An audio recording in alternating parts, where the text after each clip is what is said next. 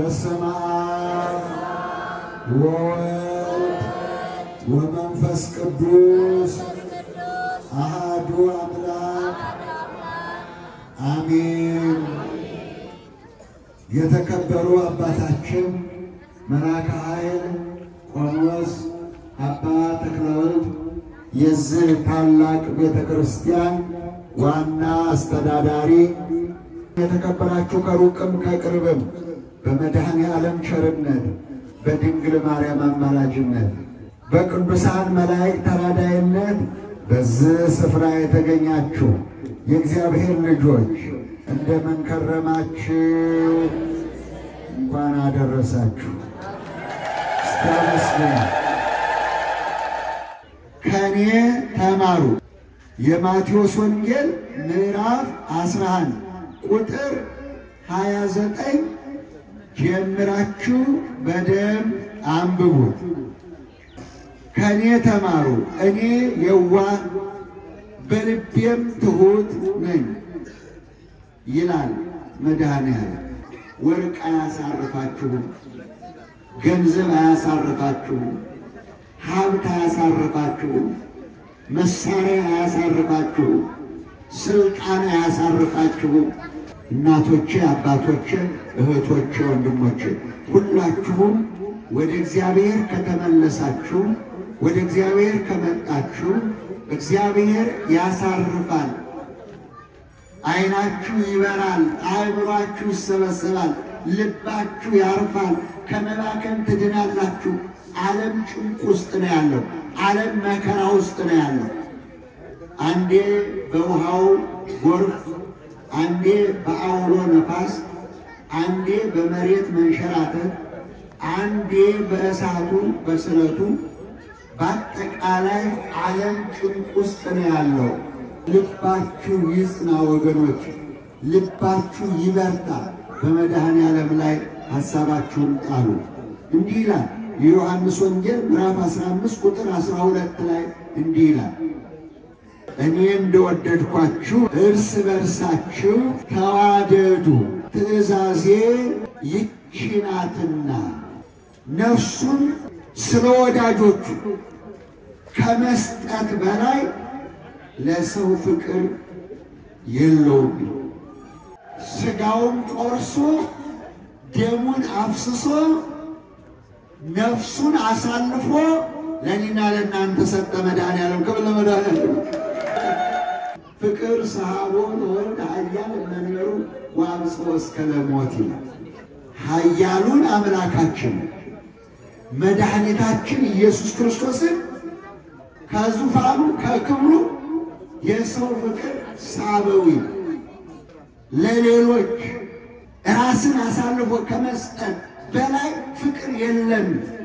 ፍቅር ከዚህ በላይ የለም። እርስ በርሳችን እንድንዋደድ እግዚአብሔር ይርዳል። ረቡዕ ጾማችን ይጀመራል። ሱባኤያችን ይጀመራል። ሌሊት በሳታት ጠዋት በኪዳን ቀን በቅዳሴ ማታ በሰርክ ጸሎት በምህላ እቺ ፍልሰታ የምታልፈው በዚህ መልኩ በዚህ በጾም ውስጥ የምታደርጉትን ሶስቱን ነገር ልንገራችሁ። የመጀመሪያው ይሆንልናል፣ ይደረግልናል ብላችሁ እምነታችሁን የምታጸኑበት ነው። ጾማችን መልስ ያመጣልናል፣ ጸሎታችን መልስ ያመጣልናል፣ የምንጠይቀው ጥያቄ መልስ ያገኛል ብላችሁ አምናችሁ የምትመጡበት ነው። የማቴዎስ ወንጌል ምዕራፍ 21 ቁጥር 21 የስናፍጭ ቅንጣት የምታክል እምነት ቢኖራችሁ ባትጠራጠሩ ለጥያቄያችሁ መልስ ፈጥኜ እሰጣችኋለሁ ተብላችኋል። ደስ ይበላችሁ። ክብር ለመድኃኒዓለም። ፈጥኜ እሰጣችኋለሁ። ሰው ጾም፣ ጸሎት፣ ሱባኤ ሲይዝ ሙሉ እምነት ያስፈልገዋል። መጀመሪያ እምነቱ ነው የሚያስፈልገው። መጾምማ መጸለይማ አጋንንትም ይጾማል፣ አጋንንትም ይንቀጠቀጣል። ልብ እንድትሉ ስለጾማችሁ፣ ብር ስለሰጣችሁ፣ ስለመጣችሁ፣ ቤተክርስቲያን ስለተሰበሰባችሁ ጻድቅ የሆናችሁ እንዳይመስላችሁ። ያዕቆብ መልእክት ምዕራፍ አምስት ቁጥር አስራ ዘጠኝ አጋንንትም ያምናሉ ይንቀጠቀጡማል፣ ይሰግዳል፣ ይጾማል፣ ይጸለያል። የሚጾመው የሚጸለየው የሚሰግደው አጽድቀኝ መንግሥተ ሰማያት አግባኝ ብሎ አይደለም። እንደኔና እንደናንተ አይደለም። ጥያቄ የሰውን ነፍስ ስጠኝ ብሎ ነው። ወደ ገሃነም እንወስደው ስጠኝ፣ እንደ ፍርፋሪ ለቅመን እንብላው ትሩ የማያንቀላፋበት እሳቱ የማይበርድበት ገሃነም እንዳወርደው ፍቀድልኝ ብሎ ነው የሚጸልየው። እንደ ኢዮብ በትዕግስት እንደ አብርሃም በቸርነት እንደ ጴጥሮስ በንስሐ ያላሸነፉህን ሰጥቻለሁ ብሎ ቃል ገብቶለታል እግዚአብሔር። መጽሐፈ መቃብያን ምዕራፍ ሁለት ላይ ተመልከቱ። ሁለተኛው ደግሞ ታጥቦ መጸለይ መንግሥተ ሰማያት ቀርባለችና ንስሐ ግቡ። ዮሐንስ መጥምቅ ይህንን አውጇል። ጌታችን መድኃኒታችን ኢየሱስ ክርስቶስ መድኃኔ ዓለም ይህንን አውጇል።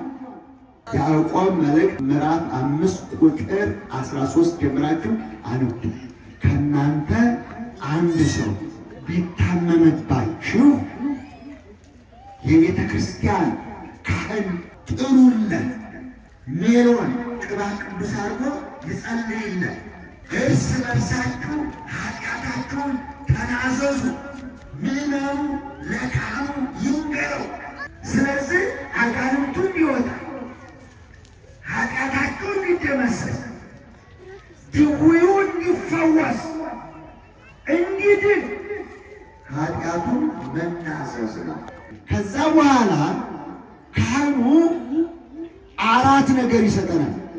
እነዚህን መፈጸም አንድ ጾም፣ ሁለት ስግደት፣ ሶስት ጸሎት፣ አራት ምጽዋት።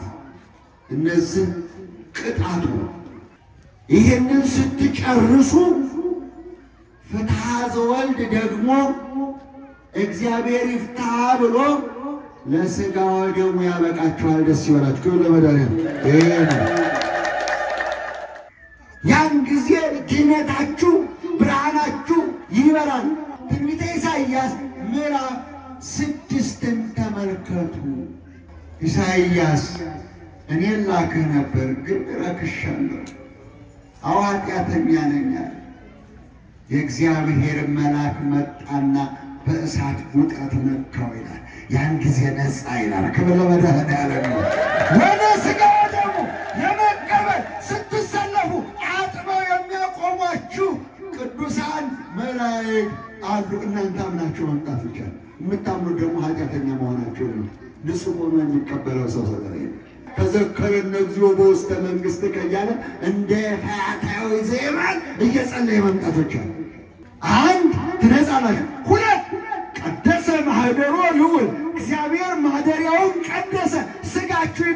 ይቀደሳል። ደስ ይበላችሁ። ክብር ለመድኃኒዓለም። ሶስት ነፍሳችሁ በመንግሥተ ሰማያት ታርፋለች። ደስ ይበላችሁ። ክብር ለመድኃኒዓለም። ሶስት ኃጢአት ይደመስሳል፣ ስጋ ይቀድሳል፣ ነፍስ ያድናል። ኃጢአታችሁን ተናዛችሁ ፍትሐ ዘወልድ አስደግማችሁ ወደ ሥጋ ወደሙ ስትቀርቡ ይህንን ሶስት ጸጋ ታገኛላችሁ ማለት ነው። አዎ ሁለተኛው መታጠብ ነው።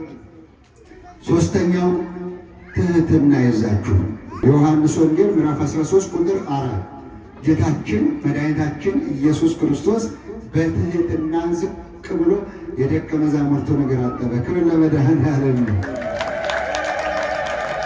አቤት ትህትና! አምላክ ሆኖ ሳለ እንደ ተራ ሰው ጌታችሁ ሲሆን አገልጋያችሁ ሆን ለእኛ ጌታ መድኃኒዓለም ክርስቶስ እስኪባካችሁ አመስግኑ። ከዚህ የበለጠ ትህትና የለም። አብርሃም ዝቅ ብሎ የሥላሴን እግር አጠበ። ሥላሴን አዘለ፣ እግራቸውን አጠበ፣ በቤቱ ተባረከ። ክብር ለመድኃኒዓለም ይሁን። አብርሃም ጌታ ኢየሱስ ክርስቶስ ደግሞ በአዲስ ኪዳን ደቀ መዛሙርቱን አገልጋዮቹን ያ የሸጠውን ሰላሳ ብር የሸጠውን የይሁዳ ነገር አጥቧል። የእኛ ጌታ የድንግል ማርያምን ክብር ለመድኃኔዓለም የይሁዳ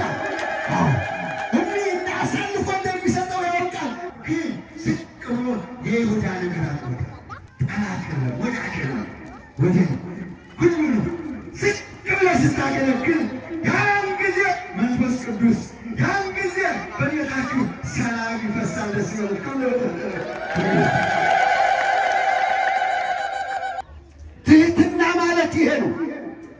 ትህትና ማለት ወንድም የምን ልርዳ፣ እህት የምን ልርዳሽ ማለት ነው። ትህትና የሌለበት ጸሎት እግዚአብሔር አይቀበልም። ትህትና የሌለበት ሱባኤ እግዚአብሔር የለበትም። የሉቃስ ወንጌል ምዕራፍ 18 በደንብ አንብቡት። እሺ ሁለት ሰዎች ሊጸልዩ ወደ ቤተ መቅደስ ሄዱ። አንዱ ትዕቢተኛ፣ አንዱ ትሑት። መጀመሪያ ትዕቢተኛው ሰው ሄደና በቤተ መቅደሱ ጋር ቆመና እንዲህ ብሎ ጸለየ። በሳምንት ሁለት ቀን እጾምልሃለሁ፣ ከማገኘውም ከአስራ አንድ አስራ በኩራት እከፍላለሁ። እንደዚህ ቀራጭና ሌባ ያላደረከኝ አመሰግናለሁ አለና ጸለየ። ይኸውላችሁ እንደዚህ ያለ ትዕቢት ይህ ሲጋራ ጫሽ አልነበረ እንዴ? ይህ ጫት ቃሚ አልነበረ እንዴ? ይቺ ዘማዊ አልነበረች እንዴ? ዛሬ ደግሞ ቤተክርስቲያን ምን አመጣል እምትሉ አፋችሁን ያዙ። የእኛ ጌታ የድንግል ማርያም ልጅ ኢየሱስ ክርስቶስ አዎ በስምዖን ቤት ቁጭ ብሎ ምሳ ሲካበስ አዎ በዛ ከተማ ውስጥ ኃጢአተኛ የነበረች ዘማዊ የነበረች መታ በእግሩ ላይ ወደቀች። በእንባዋ አጠበችው ይላል። በእንባዋ አጠበችው፣ በፀጉሯ ወለወለችው። ይቺ ሴት ብዙ ወንጃኛለችና ብዙ ኃጢአቷ ተደመሰሰላት አለ መድኃኔዓለም። ክብር ለሱ ይሁን። ተደምስሶላት እባክህ ጌታ ወይ ይቅር በለኝ እያላችሁ ስለ ራሳችሁ ጸልዩ። ያ ትሑቱ ሰው እዛ ጋር ተደፍቶ የኔ ጌታ እኔ ቀራጭ፣ ኃጢአተኛ፣ ወንበዴ፣ ሽፍታ ነኝ፣ ማረኝ፣ እራራልኝ፣ ይቅር በለኝ እያለ ደረቱን እየመጣ ያለቅሳል። ጻድቅ ሆኖ ተመለሰ ይላል መጽሐፍ ቅዱስ። ክብር ለመድኃኔዓለም።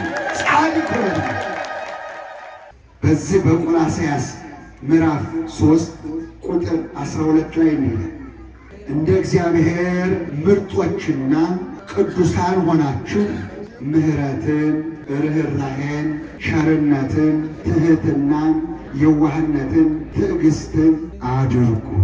ይሄ ይጠብቃችኋል።